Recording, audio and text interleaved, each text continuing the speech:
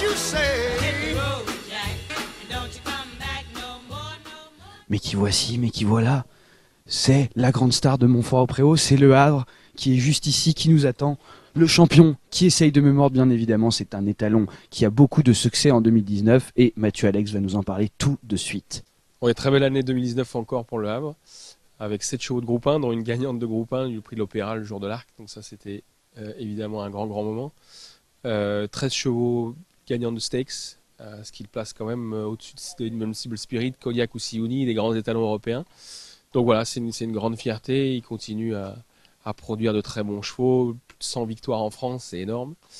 Et voilà, écoutez, le carnet de balles est en train de bien se remplir. On est en train de, réserver des très très belles juments, y compris la gagnante de l'Arc de Triomphe, Dream, et la seconde de l'Arc du même arc, Charetta. Donc euh, voilà, on, on, tient à remercier tous ces, ces, grands éleveurs qui le soutiennent.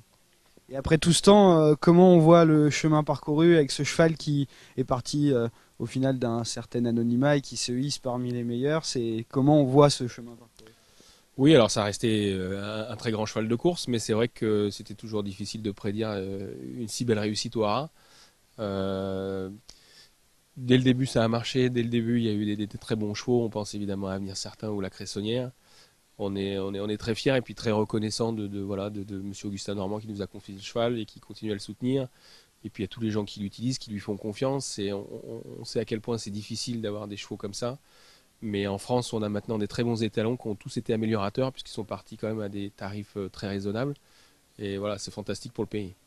Merci beaucoup Mathieu. Et plein de succès encore avec Le Havre.